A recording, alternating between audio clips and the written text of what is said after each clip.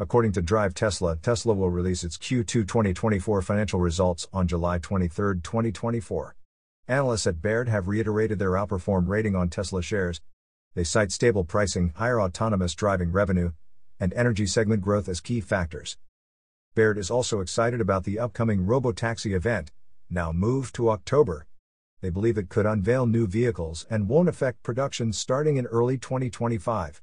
Baird expects Tesla to produce 25,000 next gen cars in 2025. They forecast Q2 EPS at 62 cents per share and a gross margin of 18.5%. Global Equities Research raised their Tesla price target from $340 to $400. They attribute this to increased demand driven by a $7,500 EV credit. Tesla's simplified ordering process has also boosted demand. The firm notes that Tesla's competitors often raise prices before applying EV credits, which customers dislike. You are listening to UON News.